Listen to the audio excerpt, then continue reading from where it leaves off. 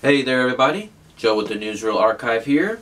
Got a story about the Awa tribe in Brazil, a tribe that is noted for living in perfect harmony with nature.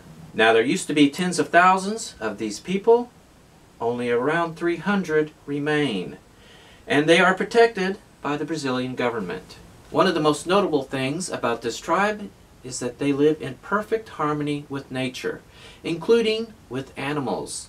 Animals are treated like family, and the women of the tribe will even breastfeed the baby animals up until they're adults.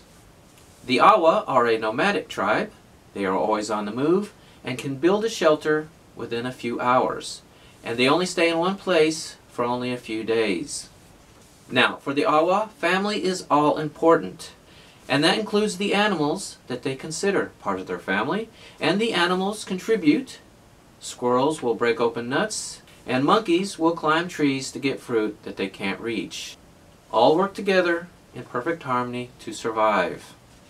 Now the one thing this tribe does like is modern western clothing, as you can see in some of the pictures, and uh, it is said that they especially love t-shirts, even though they have no idea where the t-shirts came from.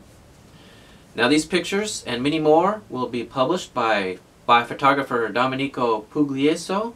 I hope I'm pronouncing that right, Domenico. And uh, I've put a link to his website below so you can find out how you can get his book.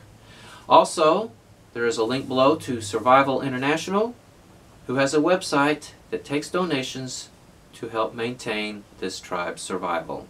So, uh, there it is. Tell me what you think. Comment below. Joe with the Newsreel Archive out.